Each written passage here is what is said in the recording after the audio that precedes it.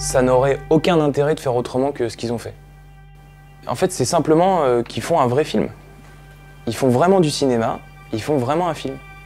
Il se trouve que c'est Dragon Ball Z et que du coup il y a toute la mythologie et tous les fantasmes qui tournent autour de... et les fans.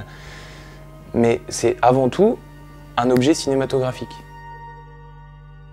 Grâce au cinéma indépendant ou grâce aux fan films, comme ça, on sait qu'on va, on va pas gagner d'argent, mais on va se faire plaisir avant tout. On va rendre justice à un vrai projet, on va faire ça avec de la qualité, et c'est montrer qu'il n'y a pas besoin de mille et des cents pour faire de la qualité, c'est juste être passionné. Quand je parle du film et de la réalisation et de la direction artistique de ce film, je dis que c'est entre Man of Steel et euh, The Tree of Life. Et je, trouve ça exceptionnel. Cet endroit-là, entre Terrence Malick et puis euh, un gros blockbuster, je crois, j'ai jamais vu ça encore. J'ai jamais vu un truc à la profondeur d'un film de Terrence Malick, une, une image comme ça, et qui a aussi euh, ben, la précision d'un film d'action super bien fait.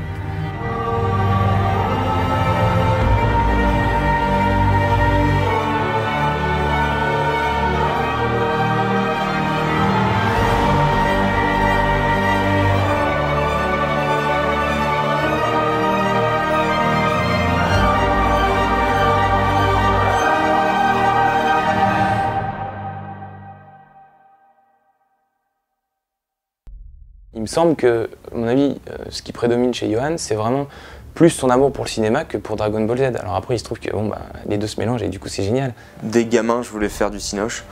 Euh, quand j'ai vu Jurassic Park, euh, le making-of de Forrest Gump, qui en gros, on pouvait voir comment c'était foutu un film. Dès ce moment-là, je voulais faire du cinéma, genre, on pouvait faire ce qu'on voulait, recréer le monde qu'on voulait là-dedans. J'ai fait des études de cinéma à Cherbourg, à l'IMC Normandie, c'était parrainé par Jean-Pierre Jeunet. Et j'ai fait deux films là-bas, j'ai fait Encerclé et Uchronia. Et en gros, bah, j'ai commencé après à bosser en tant que machiniste parce que je voulais être sur le plateau et voir comment euh, on gérait et la technique et je voulais voir, observer comment on se faisait aussi l'artistique. Et après, j'étais machiniste pour Jean-Pierre Mocky. J'ai appris très simplement faire avec très peu. Et en gros, ça a été un peu le leitmotiv sur tout le tournage aussi. Ça a été, euh, ok, on n'a pas les moyens de faire ce qu'on veut faire, on n'a pas du tout les moyens de faire un gros film type blockbuster américain. Comment on peut se démerder à faire ça quoi? Alors à la base, je viens du design industriel. C'est il y a deux ans, donc avec Johan, qu'on voulait euh, se lancer dans un projet cinématographique parce qu'on était passionnés tous les deux de, de cinéma et euh, je voulais travailler dans le design, mais dans le cinéma. Alors la genèse de ce projet, ça remonte à quand il y a à peu près 6 ans, quand on était en colloque euh, avec Vianney. Je crêchais chez lui après mes études de Cinoche à, à Cherbourg, donc j'étais venu sur Paris. On a commencé à se remater tous les DBZ. Là, on est arrivé sur euh, cette scène. On ne sait pas encore que c'est celle. On voit euh, une ville abandonnée avec des vêtements partout. Et il y avait un truc très dramatique et très mystérieux. Et là, on s'est dit, waouh, ça, ça serait vraiment trop bien en film. Tu commences un film par ça et à la fin tu dis ah au fait c'était Dragon Ball c'était un peu ça l'idée au tout début mm. c'était genre on montre un peu ce truc là et après en fait c'est DBZ on a fait un dossier de 35 pages avec des artworks, des storyboards, un scénario, une note d'attention, tout, etc. En gros, on suivait Trunk, euh, entrecoupé de scènes euh, très cut de Tenchinan et Krillin. Et la présence de Cell était euh, par, très anecdotique. Voilà, c'était vraiment voilà. on l'apercevait à peine, on voyait une ombre qui passe. Ça devait être un truc très dynamique. Très cut et tout. Et donc avec ce dossier, on a cherché les boîtes de prod pour nous aider. Et on a rencontré quelques-unes et en fait aucune n'a pu nous aider à ce moment-là parce que aussi après il faut les comprendre c'est clair le fan film c'est un monde à part dans les courts métrages on gagne personne ne gagne d'argent sur les fan films. C'est euh, très compliqué de faire euh, un film où tu n'as pas les droits. Et euh, donc on a mis ça de côté pendant des plombes c'est resté dans un tiroir. Pendant environ 3, 3 ans c'est resté à l'état de, de projet qu'on rêverait de faire mais voilà, pouvait pas lancer en fait. Et après est arrivé le Kino de, Caen. J'organise un, festival euh, de cinéma qui s'appelle euh, Kino Caen. Le principe du Kino, c'est faire euh, un film en trois jours. Et donc il y a deux ans, c'était la deuxième édition. Et Johan était venu de Paris pour cadrer un film dans lequel moi je jouais. Et en gros, j'arrive à ce festival, je suis chef-op sur un court métrage. Tout le monde me dit Et toi, t'as pas un kino à faire? Et là, je regarde dans mon iPhone et j'avais les mails euh, du dossier TFOM. Et il y avait tous les storyboards. Je me dis, oh putain, mais je pourrais essayer de faire euh, un peu de ces plans-là en fait. Et d'un coup, je me dis, il faut que je trouve un trunk et, euh, j'avais rencontré Benjamin Hubert. Entre deux bières, il me montre un storyboard d'un truc autour de Dragon Ball Z. Et je dis, ouais, Dragon Ball Z, c'est génial, j'adore, je suis archi fan, machin, nan. Il me fait, ouais, je cherche quelqu'un pour faire Trunk. Donc je lui dis, bah, je sais pas, qui est-ce qui pourrait faire ça? Je connais deux, trois acteurs là. Il me fait, non, non, mais est-ce que toi, tu pourrais, tu pourrais le faire Je lui dis, bah, ok. Donc on fait le bordel. Mais dans des conditions de, dingue. hein. On a tourné dans le local à- d'entretien de la salle dans laquelle on était. Comment t'es habillé? Bon, Trunk, c'est assez, simple. Il y a juste un Marcel noir, un, pantalon noir, des grosses pompes et puis une épée. Il se trouve qu'il y avait des épées sur place, donc voilà. Donc ça, ça allait. Mais le gros truc de Trunk, quand même, ce qui fait qu'il a la classe, c'est quand même son blouson. Et juste avant de partir, j'ai fait Ouh, il fait froid à Caen, je vais euh, prendre mon blouson. Et on est là avec Yo, on fait putain, merde, comment on va faire pour trouver un blouson Nanana, nanana. Puis Yo, il avait un manteau avec une capuche, de la moumoute, tout ça. Puis on fait, attends, fais voir. Vas-y, enlève-le. Attends, vas-y, j'essaye. Ah, déjà, il me va bien, cool. On fait, mais putain, mais mec, c'est le, c'est le manteau de Trunk en fait. On a rajouté l'écusson Capsule Corp et ça, ça match tellement bien que c'est le même blouson qu'on a gardé pour les, les tournages après. On a tourné ce petit truc à l'arrache comme ça. Et euh, j'ai demandé après à Erwan Ripoll de faire la voix off. Et à la toute base, la voix était basée sur euh, Settle for Nothing de Rage Against the Machine. Et en gros, le texte correspondait entre guillemets à ce qu'on voulait dire dans le film. If I don't make a difference, we will fall into darkness forever. Moi, pendant ce temps, j'étais à Paris en train de déprimer parce que bon, Pas de boulot, euh, pas de boulot, la vie euh, chiant. Il est revenu de Caen, là, il m'a dit Tiens, regarde, j'ai fait un petit truc et tout. Et là, il m'a montré les images et euh, là, je me suis dit Bah ouais, allez, tiens, je vais essayer de caler bah, une petite tour carine ici. Ça serait bien qu'on voit celle quand même. Donc, du coup, c'était en 2D, c'était un dessin que j'avais fait et que j'avais animé, euh, juste les pixels qui bougent. Enfin, c'était franchement crado, quoi. Mais c'était surtout mes premiers effets spéciaux. Là, Là, je- c'est la première fois que tu ouvrais After Ouais. Effects, t'avais su Au final, le budget, euh, c'était 120 balles. 120 balles. Bon, voilà, en gros, c'est euh, quelques sandwichs et. euh, Un t-shirt voilà. du coca. On l'a mis sur YouTube et là, euh, dans le mois qui venait, euh, ça, il a commencé à avoir beaucoup de vues. On est arrivé au final sur plusieurs vidéos cumulées, on est arrivé à, à 4 millions de vues. Et du coup, euh, là, on s'est dit, euh, allez, pourquoi on se lancerait pas dans un truc, euh, plus gros et ouais, là, là, un vrai plus truc, réfléchi. parce que- et- ça, ça, ça, ça nous servirait de base pour essayer, pour essayer de convaincre les gens de, de Mm. bosser là-dessus.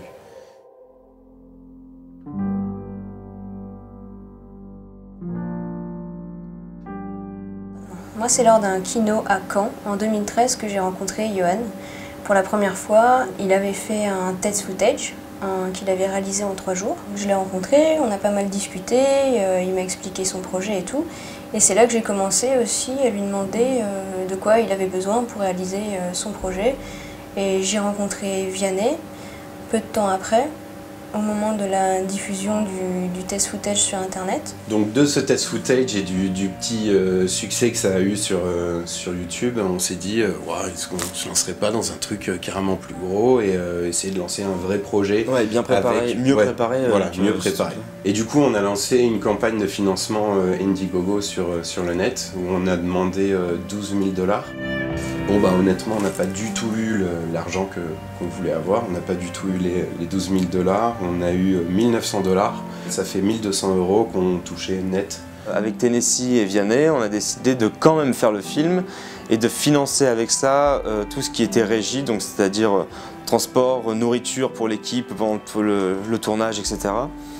Et après, avec Vianney, au fur et à mesure, on a comblé euh, avec notre argent personnel et le budget du film est à peu près de 8000 euros. En gros, on est parti sur Trunk dans un monde parallèle différent du dessin animé. Comme ça, on peut prendre les libertés qu'on veut, c'est-à-dire changer les cheveux, changer quelques trucs dans l'histoire, prendre euh, le parti pris en fait euh, artistique était plus fort du fait qu'on change complètement de timeline aussi. Pendant la préparation, je travaillais sur, sur Cell et, euh, et la gueule qu'il allait avoir parce qu'à la base, On devait le faire en vrai. ouais, on devait le faire en vrai. voilà. c'est-à-dire de faire un, un costume très très euh, réaliste. Et euh, c'était d'ailleurs euh, une grosse partie du budget de la campagne Indiegogo qu'on avait lancée au début. Euh, du coup, on a abandonné cette idée et on s'est dit on va carrément le faire en 3D. Et au final, je pense que c'est un mal pour un bien. De par la complexité de, de ce personnage, je pense que ça aurait été très très complexe de le faire en costume dans tous les cas. C'est en lisant le scénario de Johan, il me l'a- quand il me l'a envoyé, euh, que j'ai imaginé tout de suite les décors. Après, il m'a expliqué de quoi il avait besoin et puis je lui ai dit qu'il y avait tout en Normandie, quoi. Dès qu'on on est lancé, je suis parti à Caen euh, et en gros avec Tennessee, on a parcouru euh, toute la Normandie pour chercher des décors. Il nous fallait un décor pour la tour de Karine. Il fallait qu'on trouve une petite clairière. On a un peu galéré quand même à la trouver celle-là. Finalement, on l'a fait dans mon jardin cette euh, séquence. Et ce qui est marrant, c'est que ma mère s'appelle Karine. Donc c'est la vraie tour de Karine. Après, une fois qu'on a trouvé les décors, fallait euh, demander les autorisations de tournage parce que même si c'est un petit film, euh, petit budget, on n'a pas fait ça comme des voleurs. On a essayé de faire ça correctement.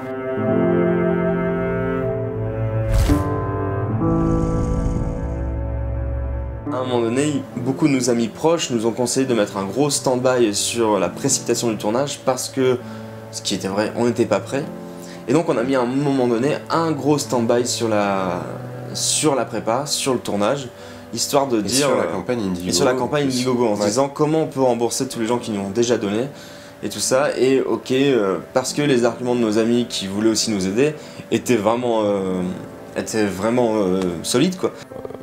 Yo, je me rappelle, il était- il était chez moi à Caen, dégoûté, dépité, il était vraiment au fond du trou à me dire bon, bah, on annule. En fait, c'est pas possible parce qu'on n'a pas les droits, ça va être une galère. euh.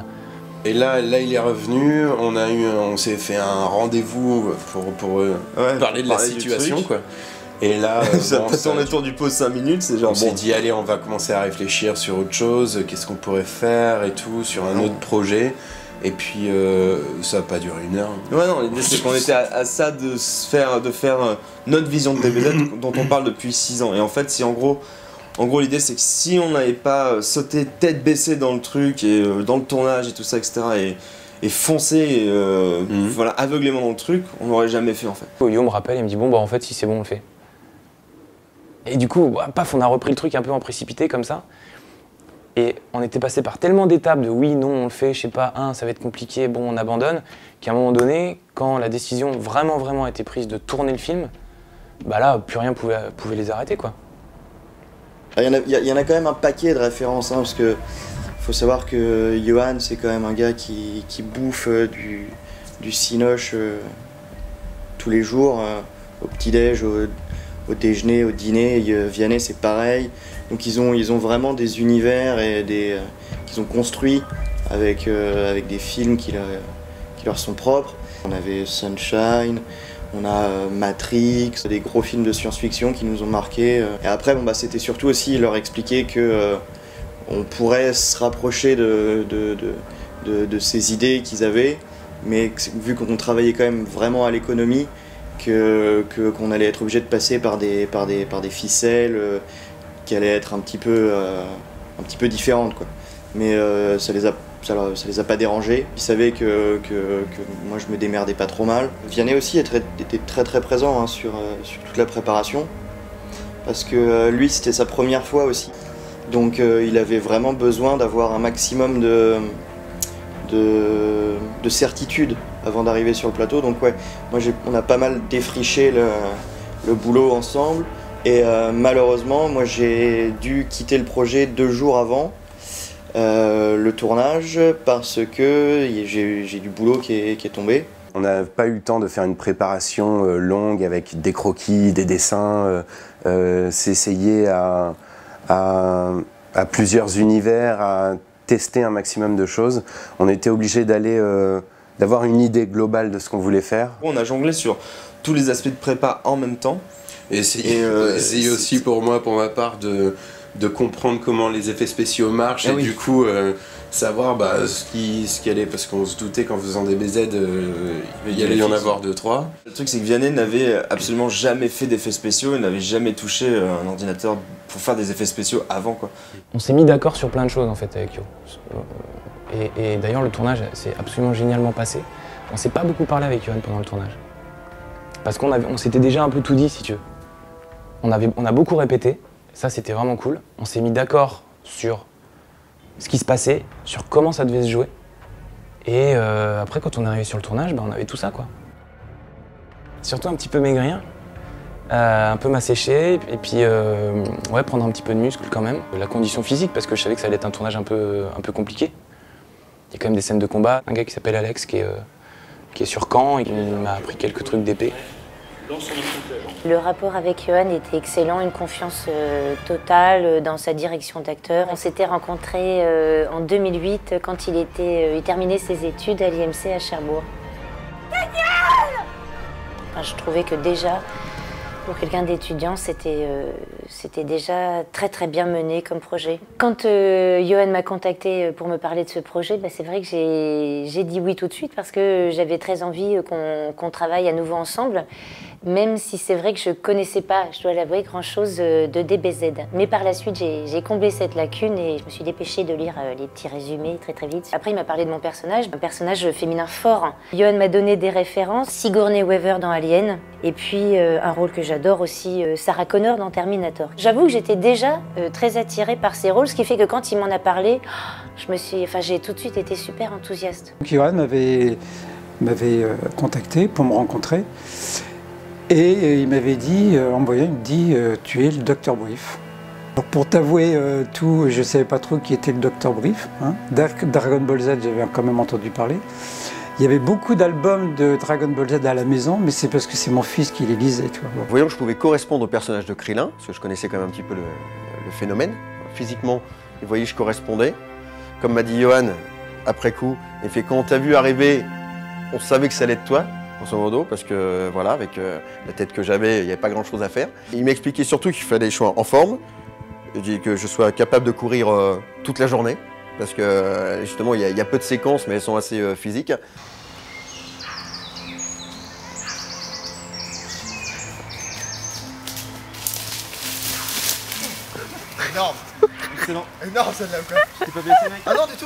Quand j'étais petit, je m'entraînais à faire des kamehameha dans le jardin. J'ai toujours été fan de Dragon Ball. Je reçois un coup de fil en fait euh, d'un mec, euh, Johan, et euh, qui me dit qu'en fait euh, il est en galère, dans deux jours ou trois jours il tourne, et qu'il a personne pour le rôle de Luna l'indienne, et que du coup il m'a trouvé sur Facebook euh, via une amie commune, Marine Brousseau qui est la costumière du film, et, euh, et il me demande, voilà, il, il me présente ça comme un service. Je connaissais deux noms, vaguement. Je savais qu'il y avait. Mais en fait, je savais rien. Et euh, du coup, quand, quand Johan m'a envoyé un message pour me dire qu'il voulait que je fasse le fissage de sel, j'ai fait oui, bien sûr, avec plaisir. Et je suis allé tout de suite sur Wikipédia pour voir de quoi ça parlait et, euh, et qui était sel. La première fois qu'on a cherché le personnage de Goku, on s'est d'abord tourné vers des haltérophiles. Et euh, en fait, on s'est vite rendu compte que c'était too much. Ils étaient gonflés de partout et ça correspondait pas du tout à l'esthétique euh, du film. Et puis aussi surtout, euh, c'était pas des acteurs quoi, donc euh, rien que leurs gestes étaient trop exagérés, pas maîtrisés et ça allait pas du tout. Contrairement à ce qu'a ce pu faire Frédéric Malayud. En fait, je pense que ce personnage et même le film, c'est un peu le résultat de tout ce qu'on a envie de voir et tout ce qu'on pense depuis qu'on est gamin autour de Dragon Ball Z et du cinéma, et notamment beaucoup du cinéma américain. Johan a pris euh, énormément le temps pour euh, caster euh, les personnages du film. Et je trouve qu'ils ont été vraiment très bien choisis. Je suis assez contente du casting.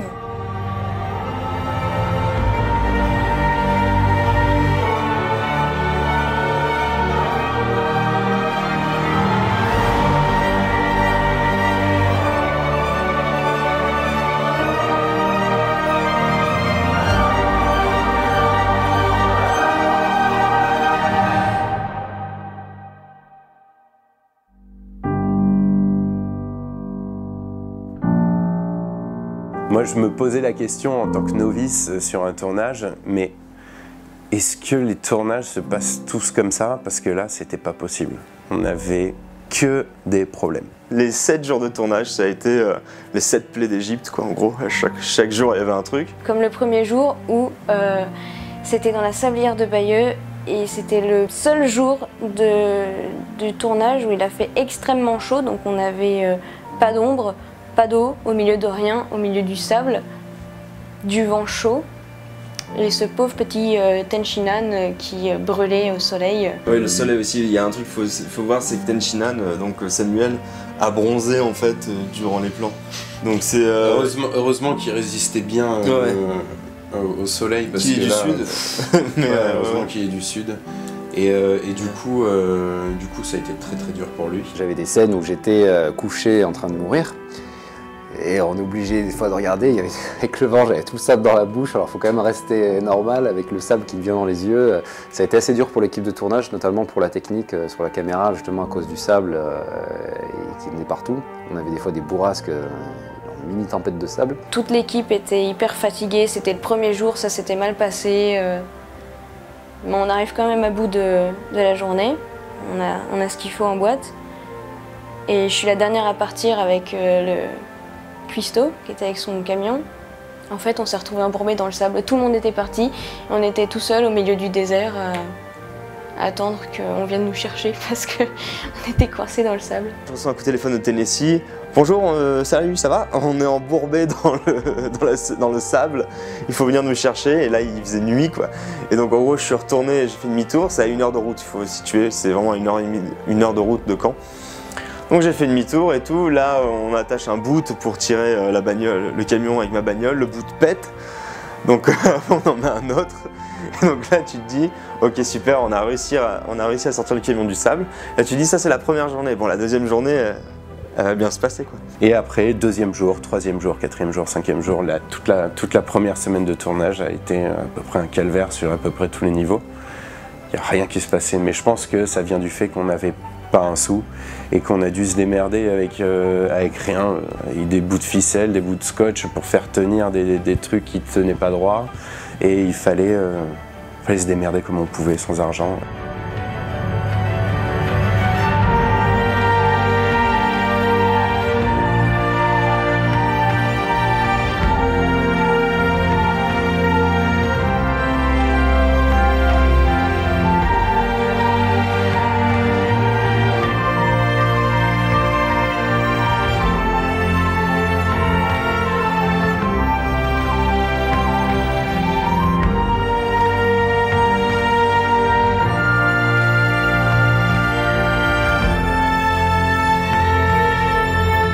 Journée de tournage, on part faire euh, tous les intérieurs euh, Capsule Corp. Et donc les sous-sols euh, où le professeur, le docteur Brief et Bulma sont devant l'ordinateur et essayent de faire marcher la machine à voyager dans le. Alors le tournage, on était donc à Caen et on s'est retrouvé donc dans les sous-sols de la piscine municipale de, de Caen. Johan m'avait expliqué, euh, lui ce qui l'intéressait c'était euh, tous les, les- les systèmes de tubulure, euh, tout ça, les- les- vraiment le, le décor de, de tuyaux, de câbles. Et c'est vrai que c'était pour ça ça fonctionnait très bien. Quoi. On tourne donc dans une piscine euh, en état de marche, donc c'est-à-dire la machinerie euh, à fond, le, la température euh, super fond élevée- aussi. à fond aussi, super élevée, et une odeur de chlore euh, constante. Donc c'était pas très très. euh, C'était pas très très pratique. Très euh, disons qu'il y a tout le monde qui devait à peu près remonter, euh, euh, Ouais. prendre l'air euh, toutes les 10 minutes parce que sinon, euh, sinon c'est pas possible. Ouais, C'était on- grave tourner la tête. Ouais, ouais.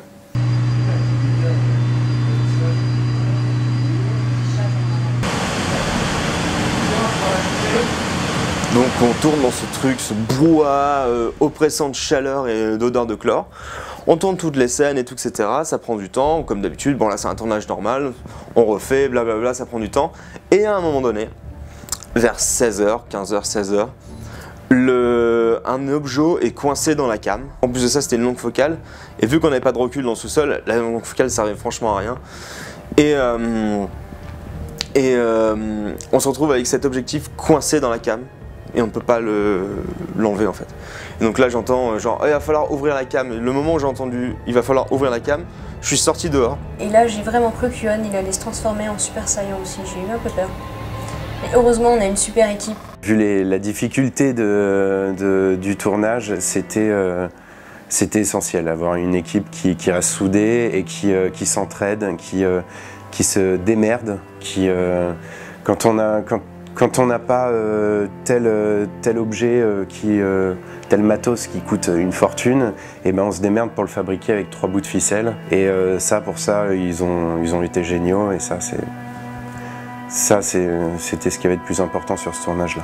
Toutes les personnes qui, ont, qui sont intervenues, tous, tous, jusqu'à la personne, enfin la régie, tous, tous, tous, et la passion et le- l'envie de se donner à fond pour, pour euh, quelque chose à laquelle on croit. Et, euh, vraiment, bah, ça fait du bien.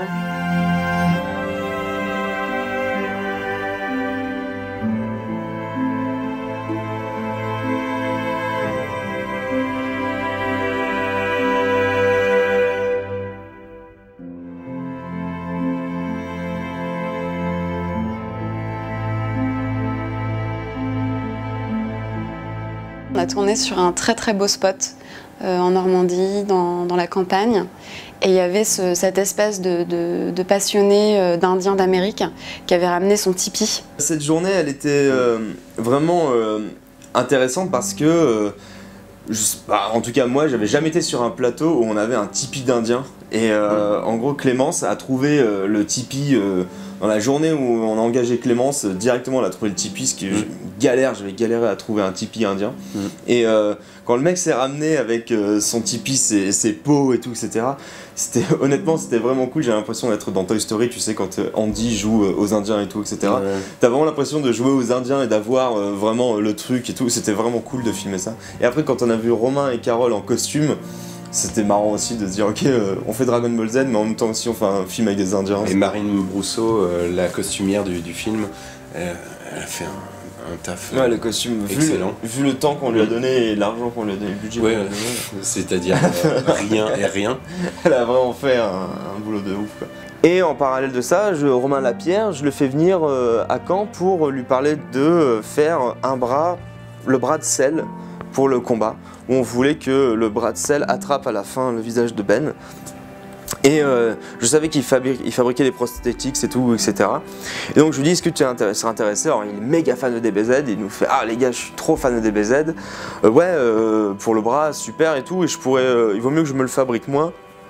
Donc je vais le fabriquer sur ma main.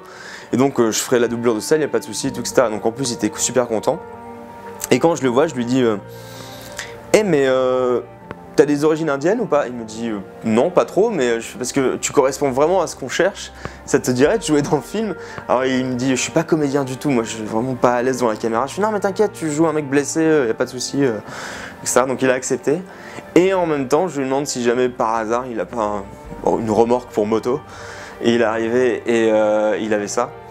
Et en gros, Tennessee l'a surnommé euh, l'homme couteau suisse, c'est-à-dire que en une journée, Romain nous a débloqué euh, le bras de sel, la doublure de sel pour la main, euh, l'indien euh, et la remorque pour la moto. Donc euh, ça, ça a été cool et ça c'était juste pour le tournage quoi.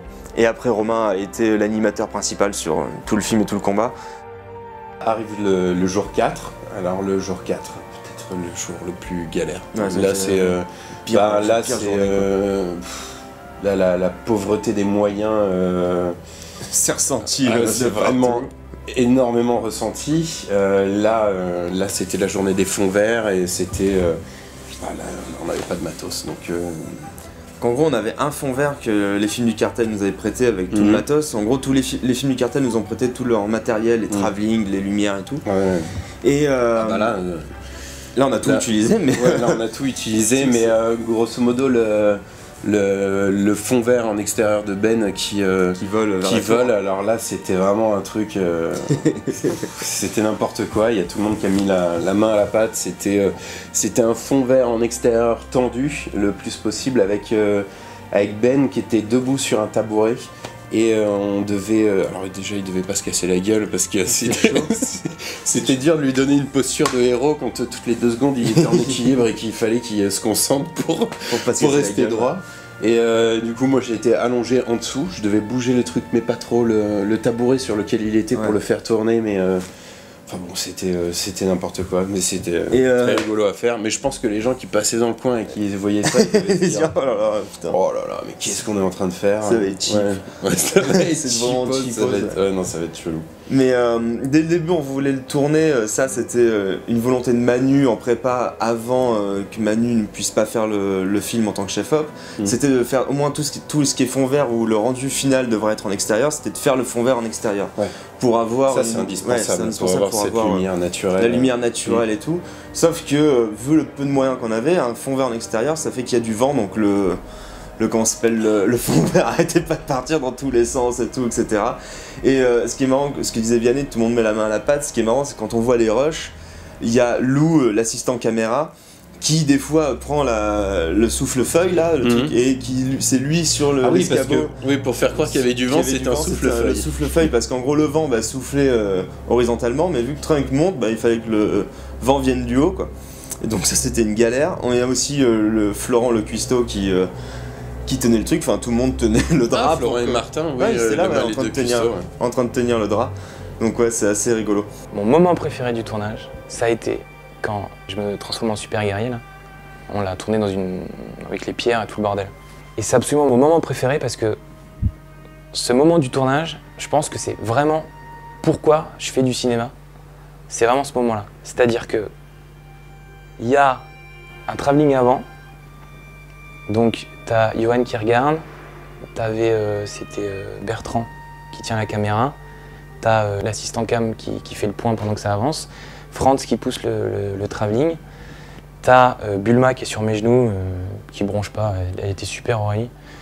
Il y a moi qui dois jouer un truc dramatique en sachant que la caméra avance, tu as le mec qui prend le son, T'avais Clémence avec la machine à, à- faire du vent, tu vois, qui, est tassée dans un coin comme ça, qui est prête à l'allumer. L'assistante qui avait un, morceau de polyester euh, pour couper le vent. Euh, t'avais un autre gars qui était là, qui me tenait l'épée derrière pour pas que ça, voit, ça se voit. Et t'avais tout ça sur, sur 2 mètres carrés. Et en fait, à l'image, tu vois juste le gars, t'as l'impression qu'il est vraiment tout seul, perdu, les larmes aux yeux, machin. Et euh, c'est vraiment ça, c'est vraiment génial. Le gars avec son tractopelle nous fabrique son décor. Alors il a bougé des, trucs qui faisaient des tonnes. Enfin c'était vraiment cool. Il nous a fait un décor super sympa.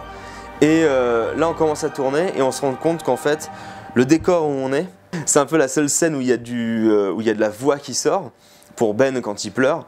Euh, Il y a un train qui passe à côté toutes les 10 minutes. On n'avait pas vu ça au repérage parce qu'on était tellement dans le rush au repérage qu'on est passé, on a vu que ça correspondait. Le mec a dit oui et qu'en gros c'est le seul gars qui a dit oui pour nous accueillir. Donc il y a un train qui passe à côté et on était derrière Festiland, c'est un parc d'attractions à Caen. Donc en gros, t'entendais les gens sur les parcs d'attractions qui disaient ouais c'est la fête et tout, et euh, le train qui passait tout le temps à côté. Pour la transformation du, du super guerrier, il devait charger son énergie, hop, insère sur les cailloux, les cailloux vibrent et s'envolent. Et euh, là, bon, il était hors de question de le faire en 3D. Et donc, euh, donc on a essayé, donc on a, on a mis je sais pas combien de temps d'essayer de le faire en vrai. C'était rigolo Donc là, c'était l'insert de, enfin l'insert de la roche et on avait mis autour de, de plein de petits cailloux des petits fils de, De de pêche, tranquille, qui se voient pas et je m'étais dit bon j'effacerai les, les fils euh, en post-production et on a essayé donc il y avait euh, il y avait euh, il y avait six personnes qui étaient autour d'un tout petit bout de rocher comme ça et essayer de, contrôler les fils pour les lever. Tout le monde était là à essayer de faire voler les cailloux et en fait le truc c'est que le caillou commençait à bouger mais il s'envole d'un coup en fait. Non, non, il, ouais, il s'envole et puis surtout quand, le, quand ça vibre, le caillou est posé, ça va, il vibre, mais dès qu'il ne touche plus le sol, il arrive, il fait pfft, et il commence à se balancer comme ça pour essayer de On monter. sent le poids et Donc, tout, euh, bah, ça faisait super con, ça marchait pas du tout.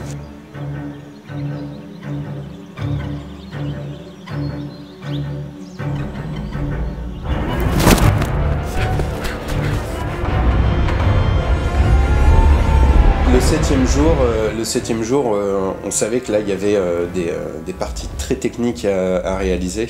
Il y avait le, la fameuse cable cam, cable qui, cam, devait, ouais. qui devait suivre. C'était, ça, c'était un plan qu'on avait en tête depuis, depuis le tout, début. de- de- C'était un des début, premiers plans, ouais. on s'est dit un plan stylisé ça serait celui-là. Voilà, ça serait celui qui est un, un plan qui devait suivre Krillin et on devait voir Krillin disparaître et partir au loin dans la forêt. Et euh, oh, ce plan devait être magnifique. Tout était installé, tout était prêt. Et on a perdu deux heures euh, malgré tout à cause de la, pluie. Euh, rester sous la tente euh, au café à, rigoler entre nous et tout. Mais donc ces deux heures-là, on n'a pas pu les rattraper. Et il manque ce plan technique qui aurait pu être très très beau visuellement. Ça a été une, une journée où on devait tourner un maximum de choses, essayer de rentrer un maximum de choses parce que euh, je savais pas vraiment comment j'allais faire euh, les disparitions, euh, où est-ce qu'il allait passer, comment, euh, comment tout allait se, se faire. Donc du coup, bah, on faisait des passes à vide, des passes où, où il courait, des passes où il courait pas, des, Ouais, des ouais. passes où il était fixe. On a essayé, on a, je crois qu'on a mélangé toutes les techniques possibles. Voilà. À un moment donné, on a filé la caméra directement à Christophe qui courait lui-même Ouais, avec la voilà. caméra, il s'est filmé. ça. Après, on l'a fait en longue focale où il court sur place. Ouais. Et la caméra bouge. Ça, ça, ça marche ça bien. s'est c'est- monté, ça marrant. marche. Et il y a, y a aussi euh, un plan qui était euh, assez rigolo à faire. C'était. euh, c'était alors moi j'étais avec Franz et, et du coup on était en train de préparer le plan où il se prend euh, l'impact dans l'épaule et qui tombe. Et en fait, euh, on avait vu, euh, on avait vu ensemble l'endroit où il fallait Ouais. que le- l'impact, où il fallait qu'il Ouais, se relève. les petits arbres et tout. Et, et voilà, les, les petits arbres. Et justement, on s'est dit qu'il fallait mettre des arbres. Donc du coup, avec Franz, pendant que toi tu préparais un autre plan, tu tournais d'autres trucs. Moi, j'étais avec Franz et on, on plantait des arbres dans le. De quoi Je savais pas que c'était des. Ah oui, oui, ça justement, euh, Johan se ramène après et il fait Mais il n'y avait pas d'arbre ici. C'est quoi, c'est, c'est quoi ce délire? Je fais Bah oui, regarde, là, là en fait. euh, Ah, je me suis- on- je me suis appuyé sur un Ouais, arbre. ouais, Oh, touche quand pas. on touchait l'arbre, l'arbre il tombait, donc euh, voilà. et en fait, on avait, parce que c'était, c'était vachement intéressant d'avoir euh, ce petit travelling euh, sur, le, sur le côté tout, avec ouais. des arbres en flou qui passent. Toute l'équipe, vraiment, que, que du bonheur. Quoi. Voilà, j'ai pas senti euh, l'effort de courir et, et Dieu sait que je m'imaginais d'encore plus courir, voilà, peut-être qu'il me l'avait dit. C'est ce qui était génial avec Christophe, c'est que Christophe, c'est un, mec qui est plein de vie, qui Ouais. est toujours motivé. Il est. euh, Ça, alors lui. cool. euh, Parce qu'à bout d'un moment, ouais, parce que là, au septième jour de tournage, nous, on avait des tronches d'enterrement, on avait. euh, On était vraiment crevés, quoi. Et lui, il arrivait, il mettait du peps, Ouais, il il met mettait de la vie. fond, Et, euh, et, euh, c'est pas grave si c'était, euh, s'il était tombé et qu'il y avait une feuille qui bougeait pas comme, comme il fallait. C'est pas grave, je la refais et tout. ouais. Il était hyper chaud. Et, Ça, voilà. c'était vraiment cool.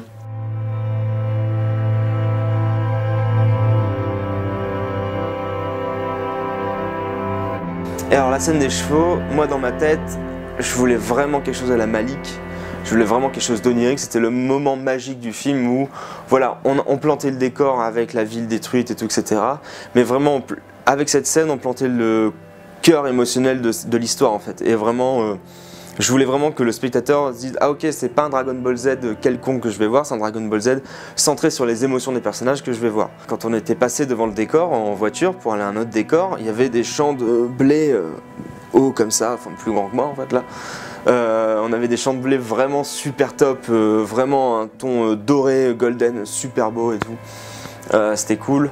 Il y avait une petite pente et je voulais que Trunks soit en haut, genre vraiment héroïque, regarde à l'horizon et on a un plan grue qui remonte le long des, des blés qu'on écarte les blés, qu'on arrive sur Trunk et qu'on découvre Trunk intact. Et en gros, l'idée c'était pour faire comprendre aux spectateurs que euh, le premier plan du film c'est soit un flashback, soit un flash forward, mais en tout cas, c'est pas la même timeline que ce moment-là où on voit Trunk euh, héroïque. Donc je voulais vraiment un plan en contre-plongée avec la grue qui le sublime, qui monte vers lui, tout, etc. Et après Bulma arrive et tout, etc. Il a dit au revoir. Et donc on arrive, et là les blés étaient rasés comme ça, rasés de partout, il n'y avait plus rien. C'était, on voyait jusqu'à l'horizon, il y avait des éoliennes à l'horizon. Alors moi j'adore les éoliennes, c'était cool qu'on voit les éoliennes, mais je voulais qu'elles tournent, et là elles tournaient pas. Donc les éoliennes ne tournaient pas, et euh, il n'y avait plus de blé. Et donc là, on fait ok, donc le plan grue ne sert à rien, parce que honnêtement, c'était genre un champ tondu, euh, c'est pas du tout la même chose. Le son par terre, au lieu d'avoir du, du vent avec le son des machins, c'était du c'était- on aurait dit des graviers. Ok, super.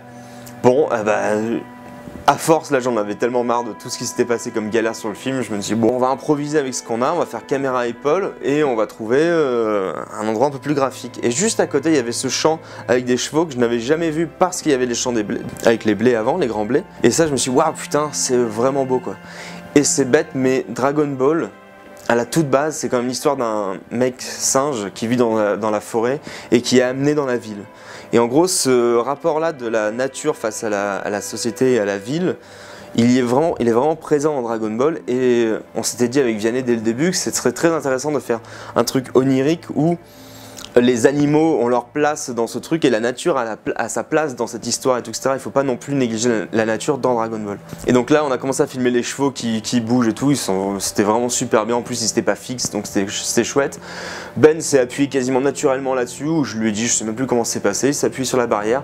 Et en gros, on s'est dit, ok, on va commencer comme ça. C'est-à-dire que le premier plan de Ben et tout, ça va être un plan serré sur lui qui se on commence, il est là, il est intact, il est, il est pas blessé et tout, etc. Et après, au spectateur de comprendre comment se déroule l'histoire. Et je suis vraiment content de cette scène et c'est une de mes scènes préférées du film quasiment. Parce que elle représente un peu, c'est bête, mais elle représente un peu en fait le film dans le sens où tu prévois des trucs euh, avec de la technique, avec euh, un gros mouvement de caméra, avec une grue, tout, etc. T'arrives, ton mouvement de grue ne sert à rien si le décor a changé. Et donc t'improvises et euh, au final tu fais quelque chose de mieux parce que je pense que ce qu'on a fait là c'est vraiment mieux que ce qui était prévu à la base. On n'a pas de dialogue pour, euh, pour euh, construire nos personnages. Donc il fallait que ça passe physiquement et puis dans le regard. Moi, je trouve que souvent les mots, ça ne sert pas à grand-chose. Bon, là, c'est pas le cas. On est en train de- de- de- de- d'échanger des, des- des idées, des commentaires. Mais euh, je trouve que tu peux tellement exprimer de choses, sans rien dire. Et j'aime beaucoup le cinéma, justement, où il y a juste un travail sur, euh, sur l'image. Ça, je trouve ça fantastique. C'est ça qui est génial aussi dans, dans- l'adaptation que les gars ont fait dans ce film, c'est que il y a malgré tout des références euh, au manga originel qu'on n'a jamais vu comme ça. C'est-à-dire que le Docteur Brief, par exemple, il y a des mecs qui essayent de, re- de refaire euh, l'armure vraiment de Vegeta, tout ça pour leur film, mais tu crois pas une seconde au personnage. Et là, par exemple, ce mec, ce rôle du Docteur Brief, à un moment donné, t'as vraiment l'impression que c'est le type du manga, quoi. Et c'est assez extraordinaire. Donc, donc non, ok, Trunk a pas les cheveux violets, euh, Bulma ressemble pas tout à fait à Bulma, ça se passe en Normandie et tout, bon. Il y a des choses comme ça qui prennent énormément de liberté et c'est cool, mais en même temps, ils montrent que c'est pas des cons et que s'ils veulent, ils peuvent super bien coller au manga. À un moment donné, on voulait faire un clin d'œil donc au dessin animé. C'était euh, Trunks se retrouve devant euh, un, mi- un miroir. Il a la gueule pétée après le combat. Il se passe de l'eau sur la gueule et en gros, il allume une lumière.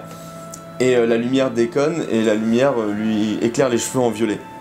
Et c'était un moyen de dire aux gens qui nous disaient vous avez oublié les cheveux violets? Non, non, on les a pas du tout oubliés. On a fait un choix artistique, on a changé le truc, mais on est conscient que normalement les cheveux sont violets.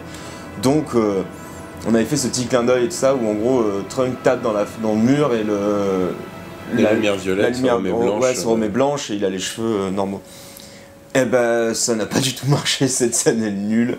Et euh, donc on l'a coupé au montage. et, on a tourné ça très vite mais on l'a coupé après au montage. et.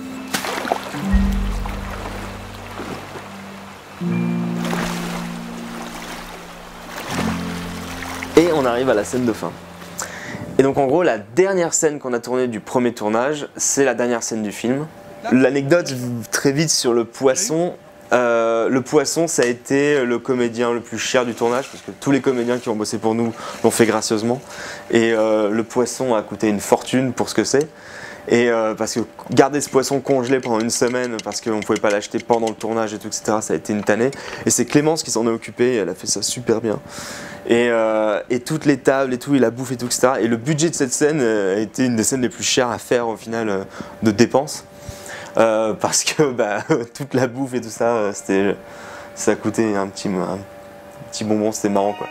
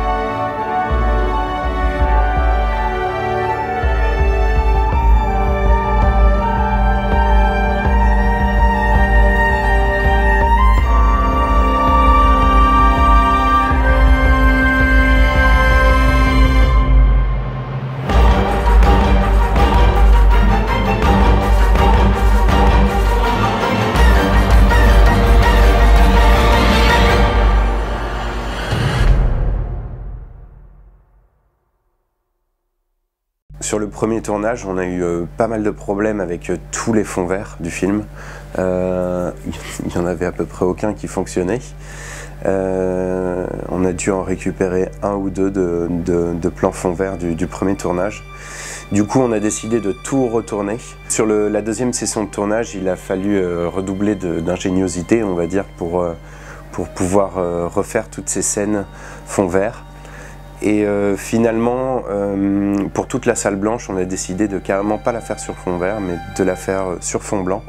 Johan m'a dit il faut que ça soit une salle blanche. On a fait une salle blanche. euh, On s'est, on s'est débrouillé avec les moyens du bord comme on fait toujours et euh, mine de rien bah, on, arrive à faire, on arrive à faire ce qui nous plaît dans un, dans un minimum de temps. Dans le sud de Paris, on s'est enfermé dans ce studio de e-prod avec Manu le chef-op, Franz euh, à la caméra et euh, au à la machinerie, Vianney, euh, Anthony Faux pour les cascades et pour euh, entraîner Ben, et Benjamin, et moi. On s'est dégoté plein plein de, grands draps blancs et, euh, et qu'on a mis tout autour de, la pièce. Et on a projeté les, lumières sur les draps blancs pour pouvoir avoir cette lumière très diffuse dont on avait besoin dans la salle blanche. Et du coup ça nous permettait de, de faire cette lumière diffuse sans moyens. En éclairant juste ce qu'il faut pour pas être surex et euh, du coup euh, perdre, euh, perdre en définition et ce genre de choses là. Et donc j'ai passé un coup de fil à mes vieux potes Pascal Rosé et Eric Lesage. C'est un chef électro, un chef machinot avec qui j'ai beaucoup travaillé. On a un peu fouillé dans, euh, toute sa bijoute, il nous a dit euh, allez-y les gamins, euh, servez-vous. Et pareil, bah, galère sur galère, on a eu les deux caméras qui ont planté en même temps. On n'a pas tourné pendant 12 heures, le temps de trouver une solution. Et après on a tourné 16 heures d'affilée je crois. Euh, où en gros Benjamin euh, devait faire toute la salle blanche. Il y avait un découpage énorme dans la salle blanche, elle était vraiment longue cette scène de salle blanche. Il y avait plein de plans en tous les sens, c'était surdécoupé euh, parce qu'il fallait montrer le temps qui passe. Donc il y avait il y a beaucoup beaucoup d'enchaînements qui ont été coupés au montage en fait. Et après on a tourné le combat où en gros euh, la chorégraphie avait été faite par euh, Anthony, il avait montré à, Ben et à la fin il y a, des rushs où euh, Ben est complètement à la ramasse, il comprend plus rien mais en même temps c'est logique, le pauvre il était trop fatigué. Et nous on lui demandait vas-y tape à droite, tape à gauche, tape tout droit, il y a celle qui est là et tout. C'était ça qui était absolument crevant. C'est que du coup, ouais, j'ai fait que me battre dans le vide. Parce que déjà, te battre comme ça en t'entraînant, c'est très bizarre. Mais en plus, on s'était dit que je me battais contre moi-même. C'est-à-dire que Trunk se battait contre lui-même. Donc si tu donnais un coup, dans l'autre chorégraphie, hop, tu bloquais le coup. Tu Et là, ça commençait à devenir dingue. On avait préparé plein de chorégraphies martiales où il s'entraîne, il fait un combat contre soi-même. Et où il essaye de puiser son énergie à droite à gauche euh, avec euh, la notion de- d'un salle du temps, c'est qu'il n'y a pas de gravité. C'est-à-dire que chaque coup, chaque coup, euh, un coup de poing, c'est comme si on, le coup de poing était retenu énormément et du coup c'est pour ça qu'il devient super fort. Et en fait, Johan, voulait avoir des expressions pour servir de référence, pour ensuite euh, faire les animations du visage de Cell. Donc j'ai fait toutes les grimaces, euh, toute la sale gueule de Cell. voilà. Mais bosser, bosser avec Johan, c'est... C'est toujours, même, même pour, même pour celui-là où c'est finalement c'est juste le visage de Cell, il arrive toujours à ce que ce soit toujours très éprouvant comme, comme journée. Même, même sur une seule journée, là, pour, le, pour le visage de Cell, c'était. euh, il, aime, il aime bien pousser les, les émotions jusqu'au bout, quoi, quand même. Juste pour qu'il ait le choix après, je pense, sur, le, sur, les, sur les images, mais généralement c'est toujours très claquant. Tennessee a réussi à nous dégoter un sous-marin nucléaire pour faire euh, les, euh, la capsule Corp. En gros, il nous manquait tous les plans qui nous manquaient de capsule Corp, la machine à voyager dans le temps, le vaisseau de Bulma, euh, Bulma qui part dans le couloir et tout, etc. Et qui déambule, euh, Bulma qui bricole, euh, l'extérieur où Bulma regarde le ciel et tout, etc. Tous ces trucs-là, on a réussi à avoir un décor exceptionnel avec un sous-marin nucléaire hors d'état de marche. Les propriétaires de ce sous-marin émettaient beaucoup de soupçons sur ce qu'on allait pouvoir tourner dedans. Ils m'ont fait. euh, J'ai dû leur envoyer le scénario, le storyboard, ils m'ont posé plein de questions sur le contenu de, du film. euh, et c'était principalement par rapport à la violence. Ils voulaient absolument pas qu'on tourne des choses violentes euh, dedans, ce qui peut se comprendre.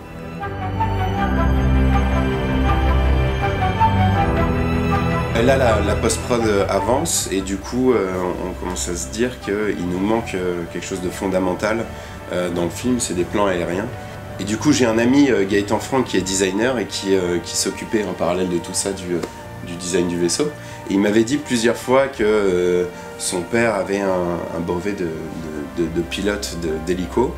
Et je lui ai dit, je me suis dit, enfin, on s'est regardé avec Yann, on s'est dit, mais si on lui demandait si par hasard, la prochaine fois qu'il montait dans un hélico, on pouvait lui caler juste une petite GoPro ou quelque chose comme ça sur son hélico. Et, euh, et il nous a euh, donc euh, gracieusement invités en disant Eh ben écoutez les gars, vous venez la prochaine fois, euh, vous venez avec tout votre matériel et je vous fais faire des, des plans euh, comme vous voulez, tout quoi. ça, des- un petit tour d'hélico. Ouais, du coup, on s'est dit, mais alors là, banco. Euh, on a appelé Franz, on lui a dit, t'es chaud pour aller faire de l'hélico. Euh, voilà, donc on a une caméra et là, on est parti dans le sud, du côté de, du côté de Montpellier. Et, euh, et on est allé faire donc ces fameux, ces fameux plans en, en hélico avec Philippe Franck, qui est notre, du coup... Pilote d'hélicoptère. Ouais, voilà, c'était cool d'avoir dans le générique un pilote d'hélicoptère, Philippe Franck.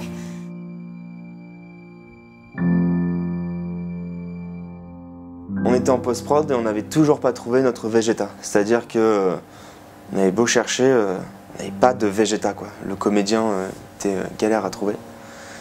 Et j'en parle à Anthony et, euh, et John quand on était en post-prod et ils nous disent Ah mais attends mais David direct quoi. Et là je fais c'est qui David? Et ils montrent une photo de David Doucan. Et ils viennent et on voit ça, on fait ok ouais c'est lui, direct quoi, c'est lui. Et euh, on voit d'autres photos et en plus de ça, le comble du truc c'est que euh, il ressemble à Benjamin Hubert. Donc là on fait ok bah ouais super quoi, il y a une cohérence en plus, c'est vraiment cool. Et euh, on rencontre David qui est peut-être le mec le plus gentil sur Terre. Ils m'ont dit on part en Normandie, tourner dans un pré. J'ai fait ok d'accord, on est parti très tôt le matin, ils sont venus me récupérer en voiture. Encore une fois, c'était 8000 euros de budget, ce qui est absolument dérisoire. Donc il y avait un côté système D, quoi. Allez, on prend la caméra, on va tourner. Mais euh, voilà, moi ils m'ont dit voilà, tu marches dans un champ, tu quittes, euh, tu, voilà, ils m'ont expliqué quel était le personnage et tout. J'ai fait, moi j'ai joué le mec, en fait, je marche dans un champ. Là on a un gros problème, c'est l'armure de Vegeta quoi. Euh, il faut faire une armure très vite de Vegeta. Là donc, bah, qu'est-ce qu'on fait quand on est vraiment en galère? On appelle Romain Lapierre. Et donc euh, on appelle Romain. Romain, est-ce que tu arriverais à faire l'armure de Vegeta? Et donc là Romain, j'imagine qu'il devait avoir un smile comme ça parce que à chaque fois, euh, Romain a bossé sur le film et ne savait rien du film. C'est un, des gars qui a bossé sur le film en essayant de pas se faire spoiler un max sur le film. Et euh, donc bon, on lui a dit bon désolé spoiler, mais bon il y a Vegeta dans le film. Euh, il faut que tu nous fasses une armure. Donc là, le truc c'est que Romain, en un temps record, nous a fait à distance, sans voir le comédien, une armure qui devait aller sur le comédien. Vianney la design très très vite avant. euh, il a fait un truc vraiment super stylé et tout, etc. C'est euh, waouh, c'est vraiment stylé. Et là, on arrive le jour du tournage. Et l'armure ne va pas sur, David, ce qui est logique vu que Romain n'a jamais vu David en vrai, n'a jamais pu faire de moule en plâtre sur lui, qu'on a fait ça à distance, ce qui est logique en fait, c'est très compliqué. Et donc on décide de, ok, euh, l'armure, ça sera juste un clin d'œil, les gens vont vraiment comprendre avec l'armure et les gants. C'est un, vraiment un beau moment en fait c'est l'histoire d'un père qui, euh, qui doit abandonner sa famille pour aller à la guerre. Il sait qu'il va pas réussir à faire la différence, mais il a confiance en son fils et il sait que son fils un jour fera la différence. Et parce que son fils est quelqu'un de différent et euh, apportera l'espoir, ou en tout cas pourra demander euh, de l'aide à celui qui symbolise l'espoir, en tout cas, et c'est Sangoku. Donc voilà, c'est c'est bête, mais cette petite scène qui a pris une après-midi à tourner représente vraiment euh, le cœur émotionnel du film.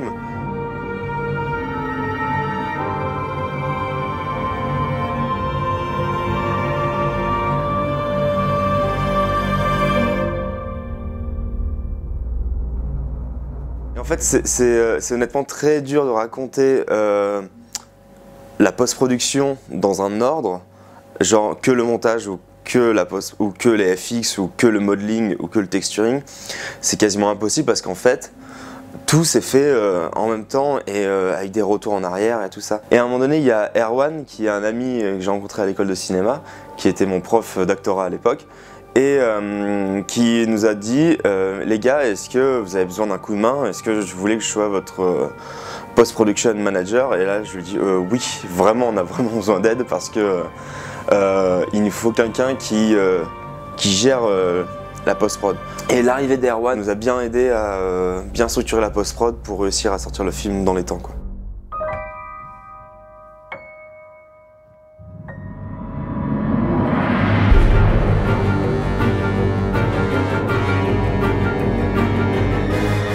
Suis retrouvé sur le projet parce que je travaillais sur la série Chef pour France 2 réalisée par Arnaud Malherbe. Et euh, durant les premiers jours de tournage, en fait, je parlais avec le making of, Lucas, je lui dis, on a sympathisé, je lui dis que j'étais cascadeur, etc. Et quelques jours après, il m'appelle, il me fait Ouais, Anthony, euh, j'ai des potes qui font un fan film sur Dragon Ball Z, ils ont déjà commencé à tourner, etc. Ils ont besoin d'un chorégraphe et d'un cascadeur, est-ce que ça t'intéresse et tout? Et moi, étant fan de Dragon Ball Z, j'ai dit oui direct. On a rencontré Anthony Faux et Anthony Faux a débarqué sur le film, on lui a parlé de, ce qu'on voulait faire. Dès qu'on lui a parlé de ça, il avait euh, la banane, euh, il était ouf et tout. Et Anthony, c'est un mec qui, qui a un, rire ou un- une bonne humeur vraiment communicative. Et en gros, euh, direct, il a eu des bonnes idées, il a, eu des, il a proposé des trucs et tout, etc. Tout en comprenant la logique qu'on voulait, c'est-à-dire un combat bien lourd et, tout ça. Et, et direct, on s'est dit, ok, super, il faut designer un combat avec toi. On va vous filmer et euh, on va demander à des, ani- à des animateurs de reproduire les mouvements pour, pour le combat. Et euh, Anthony nous dit bah, j'ai une salle pour répéter à ce moment-là et on peut aller chez euh, Christophe Diaz de Hiprod. J'avais un studio de tournage à Palaiso euh, avec des tatamis où on peut s'entraîner facilement. Et donc il m'a demandé s'il pouvait répéter avec des amis à lui. J'ai dit il n'y a aucun souci, vous venez comme vous voulez. Le tournage des chorégraphies de combat s'est fait en deux parties, espacées d'un an. La première partie, c'était euh, beaucoup plus simple que ce qui, était ce qui est maintenant. C'est-à-dire que Frank arrive, s'est entraîné, il arrive, il affronte Cell, il lui la scène de coups, mais Cell est tellement surpuissant qu'il lui donne une tarte et hop, le combat était terminé. Le, combat devait durer peut-être euh, une minute à la base et euh, devait être fait en full animation à, la main, c'est-à-dire uniquement fait par des animateurs. Et, là, c'était un travail, ça représentait un travail colossal. Qui était, on avait filmé des références avec les cascadeurs euh, Anthony Faux et Jonathan Henry. Et, euh, et les animateurs devaient refaire à la main toutes, euh, les animations. Et là, c'est faramineux. Pour le style de combat, Johan et Vianney voulaient quelque chose de très brutal. Quelque chose qui se fait actuellement au cinéma français, tout en gardant l'esprit Dragon Ball Z, c'est-à-dire très martial. Avec des coups de pied, coups de poing, des coups de pied sautés, le fait qu'ils volent, du coup ça fait d'autres interactions et tout. À ce moment-là, on s'est dit qu'il nous fallait de la motion capture. Il nous fallait euh, ce, ce réalisme dans le mouvement, cette précision. Et donc là, on a réussi à avoir un rendez-vous avec Solid Anime et on rencontre Jean-François Zlapka. Et euh, on lui présente les six premières minutes du film, les six premières minutes qu'on avait présentées à Los Angeles. Et euh, en gros, ce qui est vraiment cool, c'est que en voyant les, six, les images du film les six minutes du film, il nous a dit Waouh, vous m'avez fait retomber en enfance. quoi. J'ai pas vu Dragon Ball Z depuis des années, mais euh, je me suis rappelé Oui, lui c'est Tenchinan, lui c'est Krillin. Waouh, ouais, d'accord, ok, super. Ah bah ouais, c'est génial, euh, on va vous aider, il n'y a pas de souci. D'un coup, on rentrait vraiment dans la cour des grands où on allait avoir un combat, on allait avoir le combat qu'on veut faire, c'est-à-dire un vrai truc un peu épique, un peu costaud, où on peut mettre la caméra euh, un peu partout où on veut, et surtout avoir un rendu réaliste des mouvements, parce qu'en animation, pour avoir des rendus euh, vraiment réalistes, il faut passer du temps, et euh, du temps c'est de l'argent, et on n'avait aucun des deux. C'est Johan qui m'appelle, il fait, ouais en fait on a revu on a revu notre décision, on, veut faire un combat beaucoup plus conséquent et pour cela on va le faire en motion capture, est-ce que tu es dispo pour tourner? Et moi carrément, motion capture c'était mon rêve d'en faire parce que j'ai grandi avec les jeux vidéo, avec les films d'animation, etc. Et du coup euh, j'étais partant et, euh, pour moi c'était une bonne idée parce que ça allait rendre le combat beaucoup plus riche. C'est-à-dire une vraie interaction entre Trunk et Cell. Avec euh, Anthony et John, on a été répété à Galaxy Stadium, c'est une salle de sport à Tremblay en France qui nous a prêté son dojo. Et on a pu genre retravailler le combat et avec Vianney, on a rajouté un tas de choses aussi qu'on qu'on a développé entre temps et tout, dont le fameux gros plan séquence au milieu du combat et plein de choses. Et on a commencé à structurer tout ce combat-là. À partir du moment où on a eu la, la motion capture, là le combat a fait un, un pas en avant. Euh, on est passé d'un combat d'une minute à un combat euh, de cinq minutes. Ce qui est intéressant en termes de performance, c'est que on doit faire des chorégraphies assez longues et euh, qu'elles soient le plus parfaites possible parce que c'est pas comme au cinéma où on a plusieurs axes, ok, on peut piocher de cet axe, ensuite on prend un autre morceau de chorégraphie. Là, il fallait faire la chorégraphie en entière, à chaque fois c'était une vingtaine de mouvements.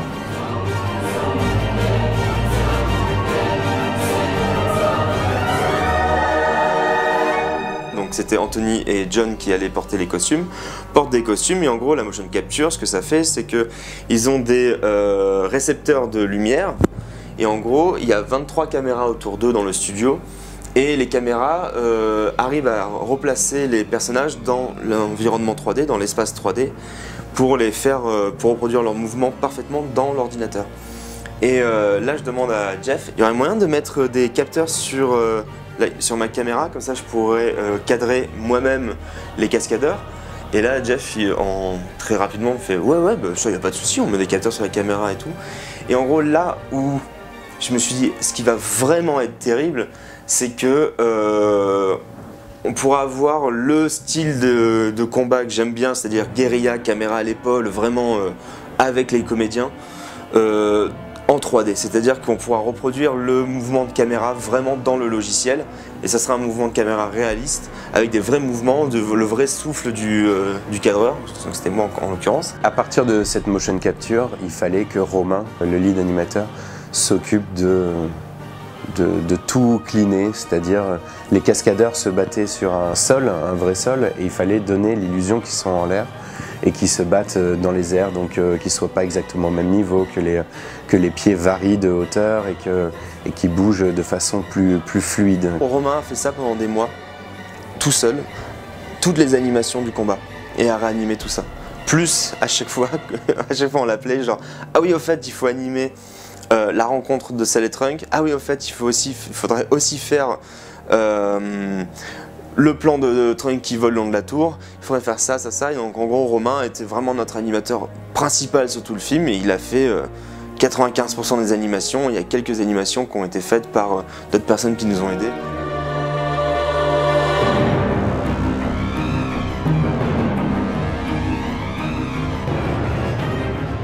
Le plan séquence a été une des parties les plus fun à faire, mais aussi une des parties les plus compliquées. Surtout pour le début du plan séquence, je me suis vraiment éclaté à le faire parce que, alors, c'est contradictoire, mais c'est le moment le plus DBZ, c'est-à-dire que c'est le moment où, euh, où les personnages bougent à une vitesse supersonique et qu'on n'arrive même plus à les suivre. Mais c'est aussi le moment où le combat et la musique se calment, tous. Parce que, en fait, c'était crescendo jusqu'à maintenant, et là, le combat s'enlise, et en fait, la caméra ne cherche même plus à les suivre individuellement, mais suit plus une zone de combat dans laquelle ils sont en train de se battre. Donc, en fait, on suit ce champ d'impact, de destruction euh, qui, euh, qui, démolit tout euh, sur leur passage. Vu que c'est un projet bénévole et, et que c'était dur de trouver de- des gens qui, veulent travailler avec nous, donc il fallait trouver des, des, fans de Dragon Ball Z avant tout, des gens qui sont passionnés par cet univers et qui, euh, qui étaient passionnés par le projet. Mais, euh, mais euh, bon, j'ai dû, dû faire à peu près 80% de- des effets spéciaux sur le film. Et, et après, tout ce qui reste, j'ai reçu des coups de main de, de plein de gens à droite à gauche qui sont venus au fur et à mesure du projet, qui bossaient un mois, deux mois, trois mois, de temps en temps, qui donnaient des coups de main et qui, euh, bah, qui m'ont vachement aidé parce que sinon, je ne sais pas du tout euh, quand le film serait sorti. Pour le troisième œil de Tenchinan, là, c'était quelque chose qui faisait vraiment flipper. Parce que euh, croire à un troisième œil sur le front de quelqu'un, euh, c'était pas évident. Je voulais absolument pas partir sur euh, de la 3D, un œil entièrement fait en 3D. On allait, ça allait manquer de réalisme. Alors du coup, ce qu'on a fait avec Yo, c'est qu'on a filmé euh, mon œil. On a fait des gros plans en fait de, de ma rétine et, euh, que j'ai récupéré et que j'ai euh, que j'ai mis sur le sur le troisième œil sur la prothèse qu'Alix avait faite sur sur Tenchinan et j'ai essayé de le coller en traquant en fait voilà le troisième œil et en essayant de faire bouger son troisième œil à la même vitesse et exactement en même temps que les deux autres yeux de Tenchinan pour, euh, pour qu'ils suivent vraiment le, le mouvement. Alors après, je voulais pas que son troisième œil aussi soit le même que ses deux autres, parce que s'il a un troisième œil, c'est qu'il ce troisième œil sert à quelque chose et que ça devait être un troisième œil un petit peu magique, euh, quelque chose qui lui donne une vision en plus, qui lui permet de détecter des choses différentes. Pour euh, Shaozu, bon ben là c'est du matte painting. C'était, euh, on avait filmé Juliette Cintre par rapport au décor de la sablière qu'on avait. On n'avait pas de profondeur de champ, on était, euh, on était très limité. Alors ce que j'ai fait, c'est que j'ai juste récupéré le corps de Juliette Cintre et, euh, juste en une photo en fait. Et après, j'ai fait un matte painting où j'ai incrusté euh, Shaozu donc dans dans ce matte painting et pour donner l'illusion, euh, parce qu'on voulait pas un plan fixe, pour donner l'illusion qu'il y avait un léger travelling et qu'on était dans un décor vivant avec une perspective qui se déplace. euh, j'ai fait une projection donc du sol avec une caméra numérique qui, euh, avance un petit peu dedans et qui écartait un petit peu le premier plan au niveau des pixels et qui permettait de, voilà, de donner cette illusion qu'on avançait dans ce décor fictif qui n'est à la base qu'u- qu'une photo en fait. Avec notre vision euh, euh, très euh, réaliste du film, autant dire que mettre un super guerrier au milieu de tout ça, c'était c'était assez tendu. C'est des calques les uns sur les autres. Donc là, ça a été un travail à la main, des sourcils, des yeux, des cheveux, euh, image par image. Après, pour les effets d'énergie, ça c'est quelque chose qu'on avait filmé donc avec, euh, avec Manu et Johan. On avait filmé un aquarium avec de la neige carbonique dedans et on filmait la surface de l'eau et la neige carbonique qui ressortait. Et voilà, c'est ce qui compose principalement la- l'aura de Trunk et euh, également l'aura de sel. Donc voilà, on voulait se baser, on voulait pas un système de, particules commun qu'on peut voir euh, peut-être un, peu trop euh, partout. On voulait voilà, filmer des choses et récupérer ces, vraies images pour pouvoir en faire des calques et, créer quelque chose de complètement fictif à base de réel. Euh, Dans les mondes de l'image de synthèse, les calculs peuvent être énormes. Une image de synthèse demande parfois une heure à être calculée. Il faut 25 images pour chaque seconde. Donc ça fait un jour par seconde. Une ferme de calcul est un réseau d'ordinateurs qui permet de diminuer ce temps de façon à rendre réalisable un projet qui autrement ne le serait pas. Dans le projet de Fall of Man, pour la scène de combat en particulier, il aurait fallu deux ans pour calculer l'intégralité de ces scènes de combat. Avec notre ferme de calcul, trois jours ont suffi.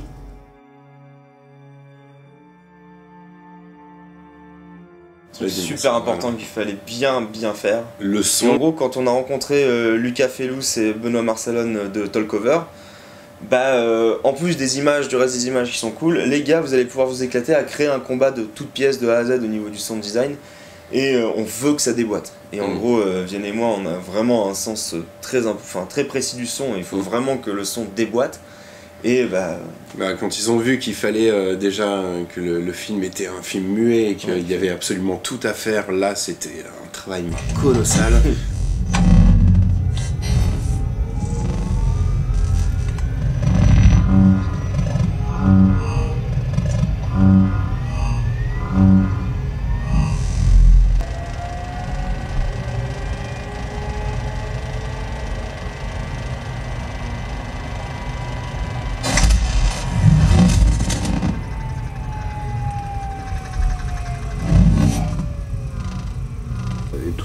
ce qui m'avait plu, c'était l'idée euh, de devoir refaire en fait euh, la totalité du son. Il n'y avait aucun son direct, et du coup pour nous c'était un, un challenge vraiment cool de se dire que du moindre petit vent jusque tout ce qui peut se passer dans le film euh, devait être euh, intégralement, donc c'était un challenge. Ils nous ont laissé vraiment libre pour le coup sur le, la direction à prendre.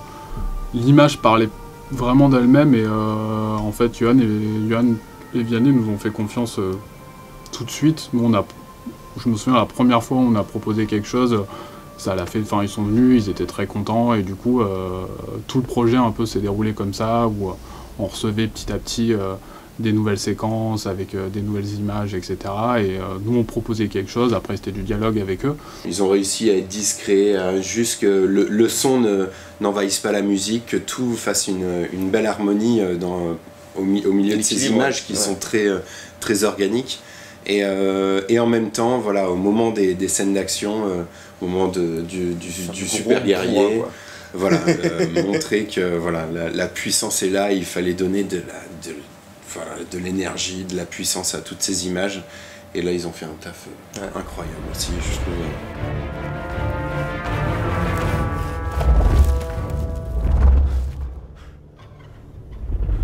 Fait quelques recherches de notre côté, euh, de- du look de Cell, comment il sonnait un peu dans l'animé.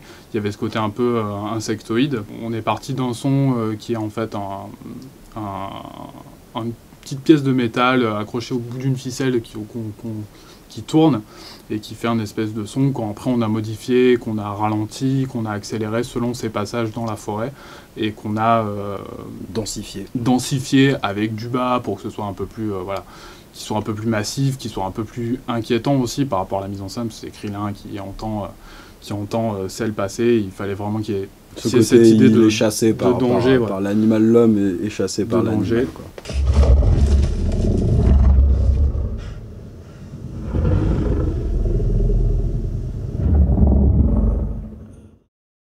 Qu'avec Vianney, ce film, on voulait que ce soit quelque chose vraiment d'hybride, euh, très tôt, la voix off s'est imposée d'elle-même. Et à un moment donné, j'allais chez iProd, justement, j'allais chez Christophe, pour répéter, je crois, avec Anthony et John. Et euh, j'écoute dans la voiture euh, Nosfell. C'est un artiste que j'adore depuis des années, et ça faisait un bon moment que j'avais pas écouté euh, ses musiques. Et là, je mets ça en fond, euh, voilà, euh, j'écoute et je conduis, je suis dans les embouteillages. Et là, j'écoute vraiment sa voix, que j'adore. Et je me dis, putain, mais ça serait vraiment énorme que ce soit lui qui fasse la voix off du film. Donc Johan visiblement écoutait ma musique et était euh, sensible à ma voix depuis longtemps et avait envie de, décontextualiser cette voix pour la mettre euh, sur son film et euh, en tant que narrateur. Dans mon travail, il y a une partie narrative. Sur scène, je passe souvent du temps à raconter des histoires entre les chansons.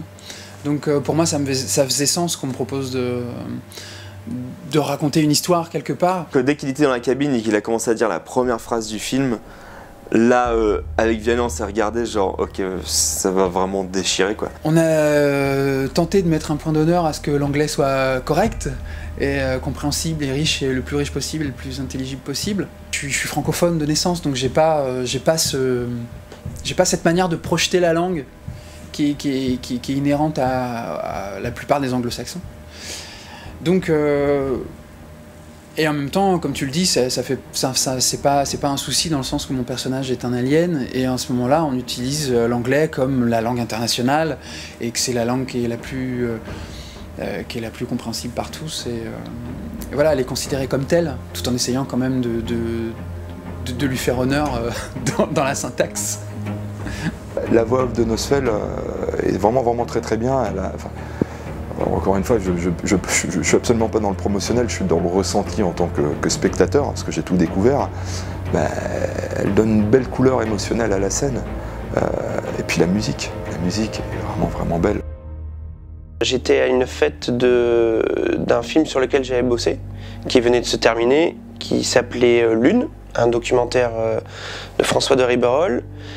Et euh, donc on fêtait la fin de ce joli documentaire. Et euh, au milieu de la salle, je vois, je vois Tess, une, petite fille qui était là au milieu de tout le monde et qui était en train de montrer une vidéo sur un portable. Et, euh, et je vois tout le monde qui s'agglutine autour d'elle et tout le monde qui dit Waouh, c'est quoi et tout?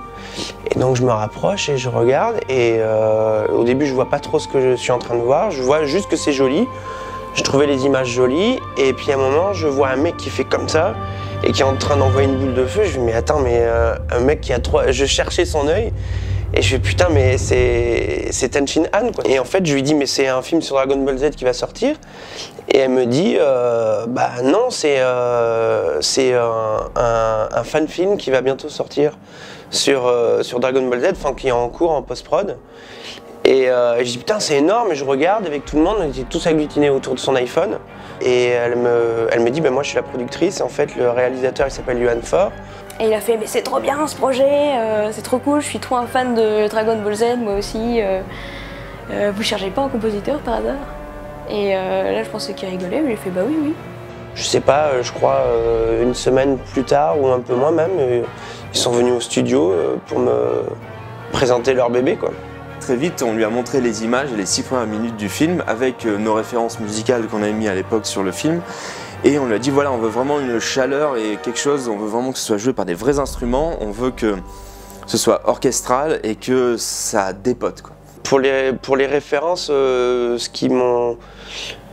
Ouais, en fait, ils m'ont, dit qu'ils, qu'ils adoraient John Williams. Bon, déjà, ça, m'a mis un peu la pression, hein, bien sûr, parce que John Williams, c'est un peu un, un dieu, c'est un peu le papa, quoi. Et, euh, et j'aurais jamais la prétention de dire euh, Tu veux du Williams? Pas de souci, je vais t'en faire.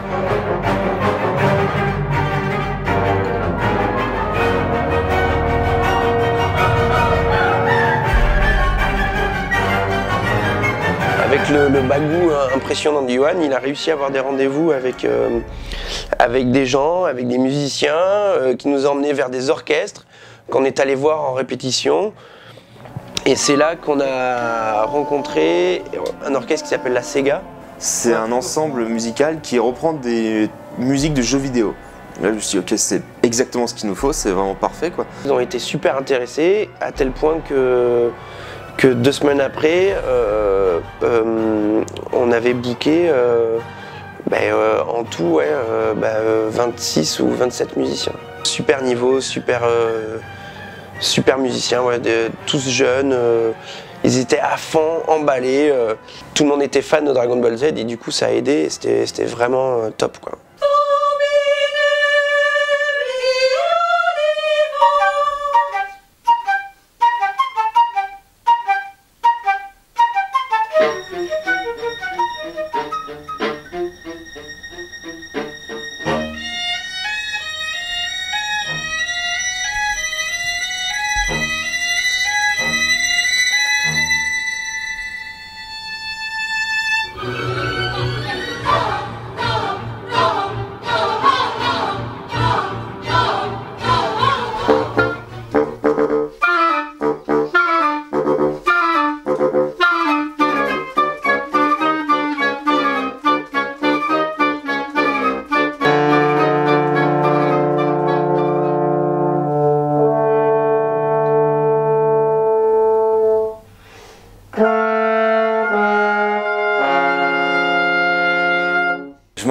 Je suis arrivé ici et euh, il m'a fait écouter la fin du film. Et là, en gros, euh, il était très euh, genre, ok, bon, j'espère que ça va te plaire et tout. À chaque fois que Stéphane est là, il dit, bon, ok, tu me dis si c'est de la merde, mais j'espère que ça va te plaire et tout, etc. Et là, il a mis play sur la musique de fin du film. C'était hallucinant parce qu'en écoutant la musique de fin du film, je me suis remémo- remémoré tout le tournage, toutes les galères de post-prod, toutes les galères du tournage, tout. Tout ça. Et en gros, à la fin, quand ça finit, j'avais l'impression d'avoir vécu autant que Trunk dans le film. Et euh, j'étais en larmes à la fin. Genre, euh, la musique m'a vraiment fait pleurer à la fin en me disant Ok, euh, bon, si jamais on a foiré le film, au moins on aura une belle musique.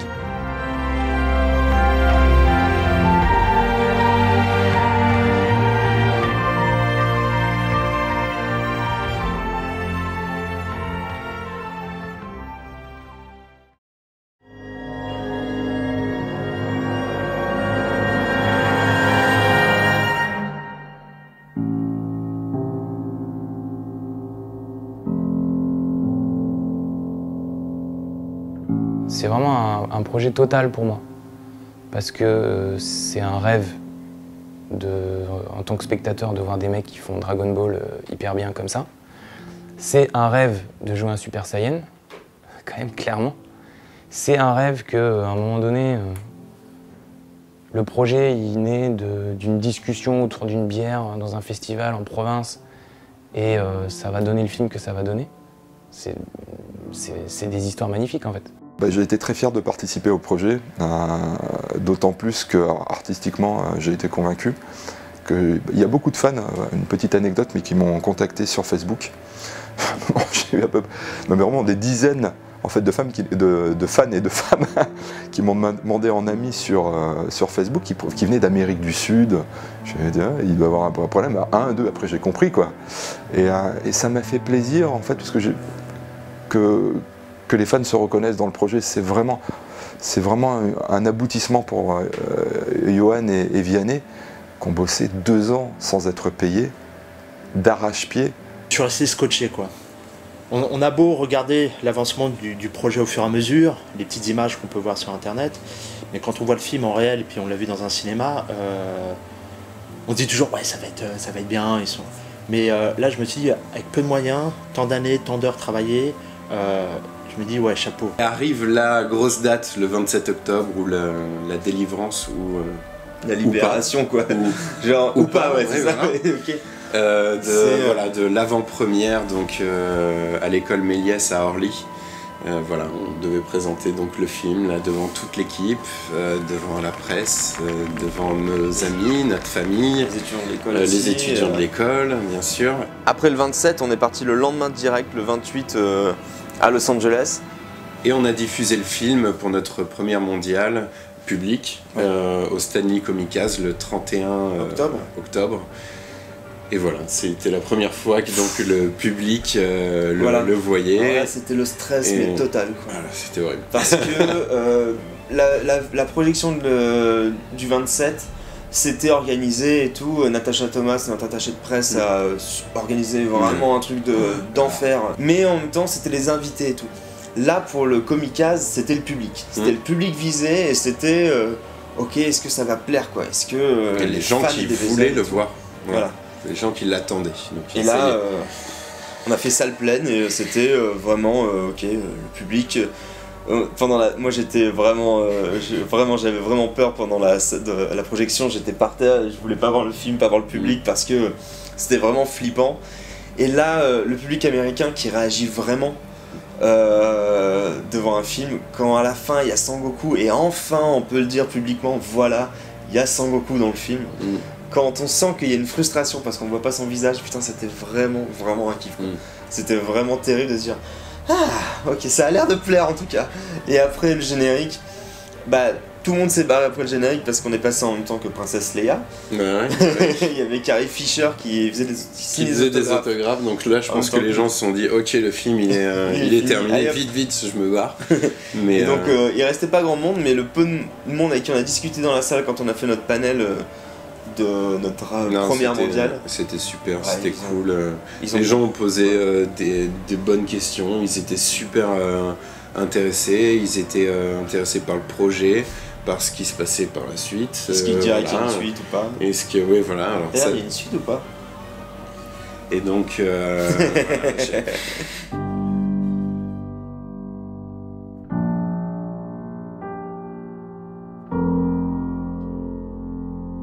Ok, ça bon. il faut mettre le film en ligne. C'est bon, ça a l'air bien, ok, bon, il, y a- il faut cliquer et tout. euh. Et en fait, c'est bête, mais on voulait genre cliquer ensemble sur. genre, allez, on le met en ligne ensemble et tout. Dans Big Bang Theory, ils font la même chose. Et euh, on voulait le mettre et en fait, on s'est foiré. Et, euh, et ouais, et ouais, en plus. On s'est foiré Ouais. du coup. Ouais, vas-y, fais ça, moi je fais ça. et puis, ouais, en non, gros, il a mis en ligne et moi j'ai publié sur Facebook. Ouais. Et, euh, et putain, c'était super bizarre quoi. C'était vraiment émouvant parce que euh, t'as pas trop, euh, tu- trop conscience de ce qui se passe. Ok, ton bébé est euh, libre quoi. Il est partout, tout le monde peut le voir.